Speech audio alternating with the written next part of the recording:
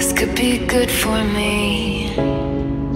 Lately, I was feeling like I need a purpose. But when you talk to me,